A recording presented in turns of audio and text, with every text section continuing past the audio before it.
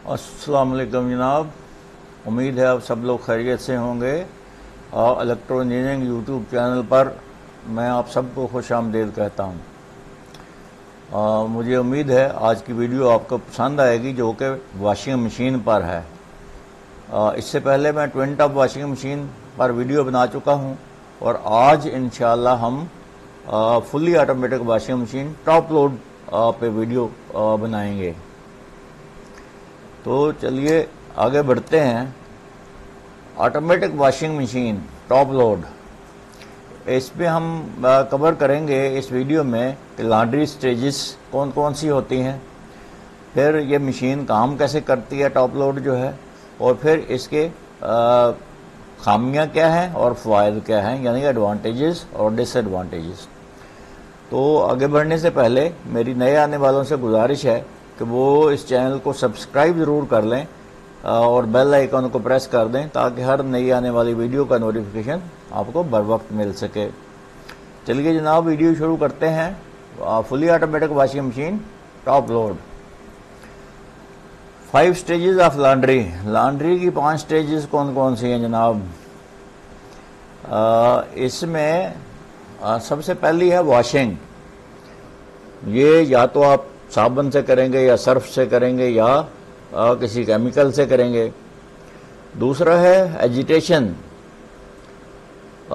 यानी कपड़ों को आगे पीछे ट्विस्ट करना। अंदर जब कपड़े आप डालते हैं तो ये क्लॉकवाइज घूमते हैं फिर एंटी क्लॉकवाइज घूमते हैं तो इसको कहते हैं एजिटेशन यानी twisting back and forth to rub against clothes यानी कपड़े आपस में एक दूसरे के साथ रगड़ खाते हैं और उससे ये आ, कपड़े धुलते हैं। नंबर तीन रेंजिंग जिसको हम खंगालना कहते हैं उर्दू में आ, जैसे जिसमें से साबुन निकालते हैं कपड़ों को कपड़ों में से तो हम क्या करते हैं उन कपड़ों को साफ़ पानी में डालते हैं और उनको खंगालते हैं और फिर वहाँ से निकालते हैं और फिर ड्रायर में डाल देते हैं। ट्वेंट टब में ये क्योंकि ऑटोमेटिक वॉशिंग मशीन है तो रेंजिंग के बाद खुद ब खुद ड्राइंग पे चल, चली जाएगी। कपड़े ड्राई हो जाएँगे खुश्क हो जाएँगे। और उसके बाद फिर पांचवी स्टेज है प्रेसिंग एंड फोल्डिंग ये वाशिंग मशीन जो है आ, आपकी फुली ऑटोमेटिक ये प्रेस तो नहीं कर सकती। ड्राई तक अलबत्ता ठीक है ये ड्राई कर देगी। कमर्शियल मशीनें जो होती हैं बहुत बड़ी बड़ी वो प्रेस भी कर देती हैं। चलिए जनाब। Automatic washing machines working principles ये काम कैसे करती है automatic washing machine they agitated cloth rapidly in soapy water until they are clean कहता है कि ये आग क्लॉकवाइज और एंटी क्लॉकवाइज कपड़ों को तेज़ी से घुमाते हैं साबुन वाले पानी में या सर्फ वाले पानी में। पहले क्लॉकवाइज फिर एंटी क्लॉकवाइज फिर क्लॉकवाइज फिर एंटी क्लॉकवाइज तो इस तरीके से कपड़े आपस में रगड़ खाएँगे और पानी के साथ भी रगड़ खाएँगे इस तरीके से कपड़ों की मैल वो निकल जाएगी। And then clean water replaces the soapy water फिर साफ़ पानी जो है सुपी वाटर निकल जाता है उसमें साफ़ पानी आ जाता है। आ, इस ये रेंजिंग प्रोसेस शुरू हो जाता है। Until the clothes are rinsed जब तक कपड़े रेंज हो जाते हैं, खंगाले जा चुके होते हैं। तो फिर this process removed all the stains and dirt from the clothes ये जो रेंजिंग प्रोसेस है, इससे सारे जो है ना स्टेन्स कपड़ों के और डर्ट जो है, मैल कुचैल जो है, वो कपड़ों से निकल चुकी होती है, ये क्लीन हो चुके होते हैं। उसके बाद फिर ड्राई होते हैं और फिर हम कपड़ों को निकाल लेते हैं। तो ये है जनाब इसका वर्किंग प्रिंसिपल यानी एजिटेटर जो है, वो इसको पहले क्लॉकवाइज फिर एंटी क्लॉकवाइज फिर क्लॉकवाइज फिर एंटी क्लॉकवाइज तेज़ी से इसको घुमाता है। उससे कपड़े धुलते हैं। चलिए जनाब selection of top load versus front front load कहता है ये फ्रंट लोड वॉशिंग मशीन लेनी चाहिए या टॉप लोड लेनी चाहिए। Nowadays washing machine models run the gamut of price. कहता है, प्राइस जो है, ये वाशिंग मशीन्स में एक गिमिक है। ये बड़ी काउंट होती है, फिर एफिशिएंसी काउंट होती है, फिर वॉशिंग मशीन का साइज़ काउंट होता है, और फिर इवन उसके फीचर्स काउंट होते हैं।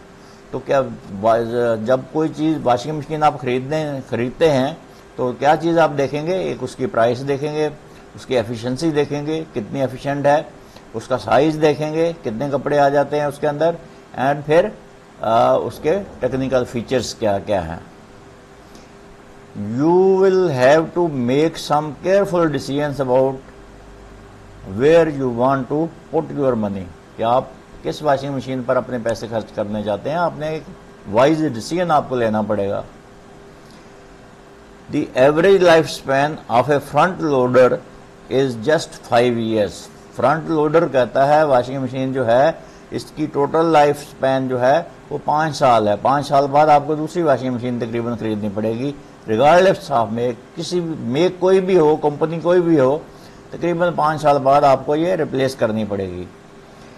The average life span of most top loaders on the other hand is about ten years top load washing machines जो हैं, ये वाली जो हैं, ये टॉप लोड है और ये फ्रंट लोड है। ये देखें फ्रंट में इसका डोर है और इसका टॉप पे डोर है। तो इस किस्म की जो वॉशिंग मशीन है, इसकी लाइफ ज़्यादा है। ये तकरीबन 10 साल तक चल जाती है, जबकि फ्रंट लोड जो है, ये वाली वॉशिंग मशीन, इसकी लाइफ टोटल पाँच साल के करीब है। तो ये चीज़ भी आपको मद्देनज़र रखनी होगी वाइल सिलेक्शन और while purchasing the washing machine चलिए जनाब, आगे बढ़ते हैं हम लोग, और हाउ टॉप लोड वर्क्स इसके पार्ट्स देखते हैं पहले। ये देखिए, ये एक नंबर पार्ट है, ये वाटर पंप है, जो कि पानी जो है वॉशिंग मशीन में डालेगा। दो नंबर ये है, ये क्या है? ड्रेन पाइप है। फिर तीन नंबर है, ये वाटर इनलेट वॉल्व है दिस वन क्योंकि जब पानी एक मकदार तक पहुँच जाता है तो फिर ये वाल्व इसको पानी को बंद कर देता है। टब या ड्रम चार नंबर, ये वाला, ये ड्रम है। पाँच नंबर, एजिटेटर या पैडल्स, ये वाला। ये एजिटेटर है बेसिकली ये घूमता है, कपड़ों को घुमाता है इसके अंदर। पहले ऐसे घुमाएगा, फिर ऐसे घुमाएगा, फिर ऐसे घुमाएगा, फिर ऐसे घुमाएगा तो राइट ये जो है क्लॉकवाइज एंटी क्लॉकवाइज बार बार घुमाने से कपड़े आपस में रगड़ खाते हैं और ये धुल जाते हैं। छः नंबर मोटर है जनाब छः नंबर ये वाली मोटर है जो कि इस एजिटेटर को घुमाती है। सात नंबर सर्किट बोर्ड है दिस वन इसके पीछे एक सर्किट बोर्ड है जो मुख्तलिफ़ फ़ंक्शंस को कंट्रोल करेगा। क्योंकि एक फ़ंक्शन ख़त्म होगा दूसरा शुरू होगा दूसरा ख़त्म होगा तीसरा शुरू होगा। तो ये कंट्रोल बोर्ड जो है आ, इसके पीछे है ये इस फ्रंट पैनल के आ, ये इसको कंट्रोल करता है। फिर आठ नंबर टाइमर है दिस वन नौ नंबर कंट्रोल पैनल है। दिस वन और ये पूरा कंट्रोल पैनल है। फिर दस नंबर है हीटिंग एलिमेंट दस नंबर ये एक इसके अंदर हीटिंग एलिमेंट भी होता है, जो कपड़ों को फिर खुश्क करता है। चलिए जनाब the agitator is the agitator in the bottom of the tub draws the cloth through the water into the centre of the machine during the washing cycle कहता है ये सेंटर में होता है वॉशिंग टब के, और ये फिर clockwise anti clockwise washing cycle में घूमता है।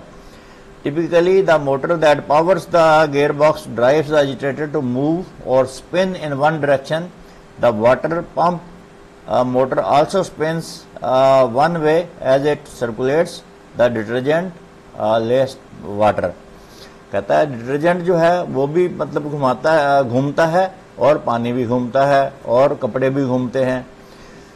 Top loader washing machine use an agitator to move cloth around the basket top loader washing machine जो है कहता है ये एजिटेटर इस्तेमाल होता है इसके अंदर।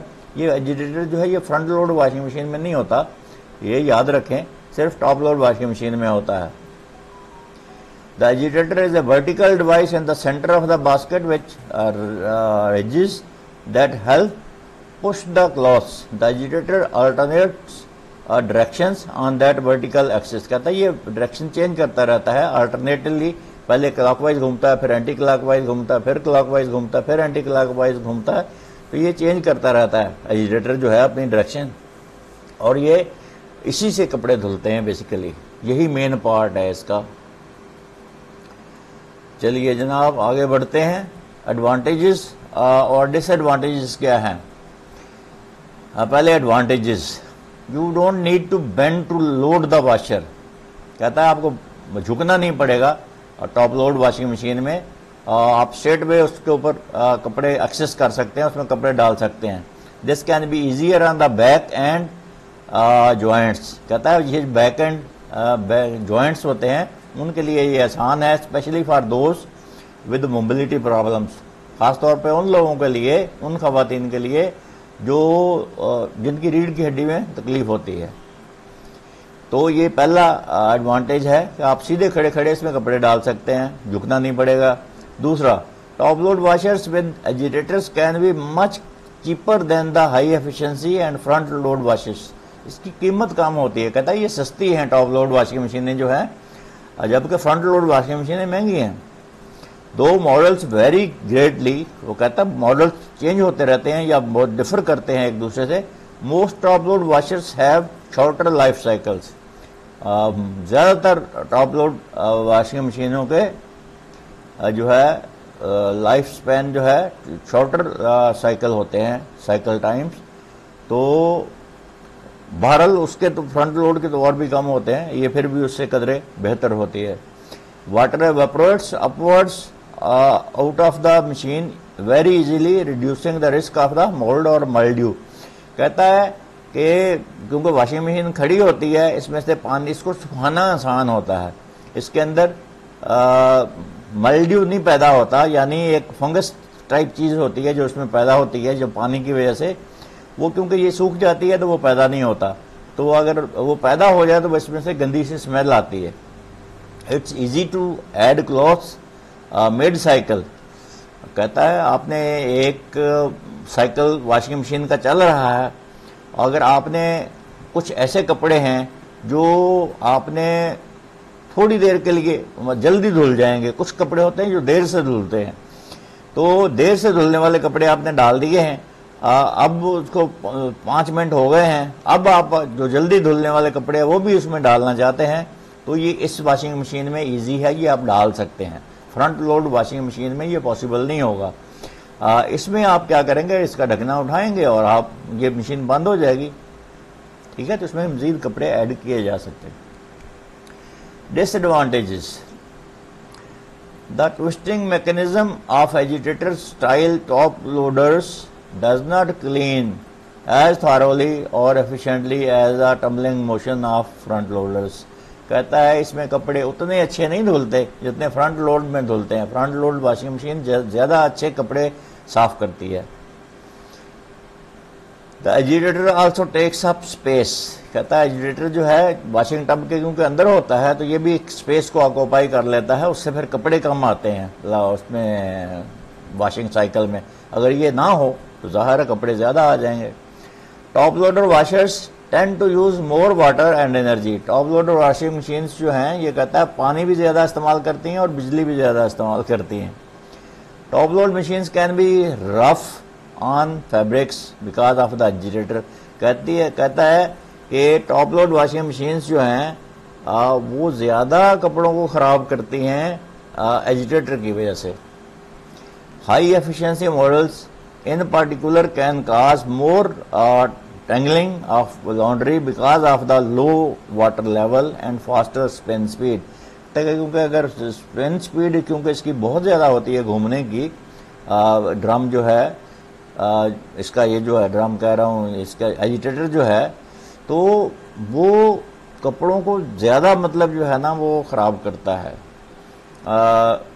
ख़ास तौर पर जिस वक्त उसमें पानी भी कम हो तो फिर तो बहुत ख़राब करता है। तो ये इसके कुछ एडवांटेजेस भी हैं और डिसएडवांटेजेस भी हैं। मैंने पाँच आपको एडवांटेजेस बताए हैं और चार आपको डिसएडवांटेज बताए हैं। बहरहाल चॉइस आपने खुद करना है परचेज़र ने खुद करना है, कि उसको कौन सी वॉशिंग मशीन चाहिए। इसके बाद है cloth versus capacity of washing machine कि एक कितने केजी की वॉशिंग मशीन में कितने कपड़े आ जाएँगे। ये मैंने एक जस्ट रफली एक आइडिया दिया है पाँच के जी वॉशिंग मशीन में पच्चीस टी शर्ट्स आ जाएँगी छः के जी वाशिंग मशीन में तीस टी शर्ट्स आ जाएँगी। इसी तरीके से आप चलते जाएँ, आगे बारह के जी में सिक्सटी टी शर्ट्स आ जाएँगी। और ये हैवी और किंग साइज़ फैमिली, बड़ी फैमिली के लिए है, जिसमें दस बारह अफराद पंद्रह अफराद हों। तो उन फैमिलीज़ के लिए ये बड़ी मशीनें हैं। आम तौर पर एवरेजली जो पाकिस्तान में फैमिलीज़ हैं, उनके लिए सात के जी या आठ के जी ये वाशिंग मशीनें बेहतरीन होती हैं क्योंकि हमारी फैमिलीज़ आम तौर पर पाँच छः अफराद पर मुश्तमिल होती हैं। तो उसमें के लिए ये छः के जी सात के जी मैक्सिमम आठ के जी वाशिंग मशीन काफ़ी होती है। अब मुझे उम्मीद है आपको ये वीडियो पसंद आई होगी। अगर पसंद आई है तो इसको लाइक ज़रूर कर दीजिए थम आपको प्रेस कर दीजिए। कमेंट करके मुझे बताइए आपको ये वीडियो कैसी लगी है। आ, इस चैनल को जाते जाते सब्सक्राइब ज़रूर कर दीजिएगा। क्योंकि सब्सक्राइब करना बिल्कुल फ्री है। आ, मुझे उम्मीद है आप मेरे साथ पूरी वीडियो आपने देखी होगी। पूरी वीडियो देखने का शुक्रिया। आ, अगली वीडियो तक अल्लाह हाफिज़।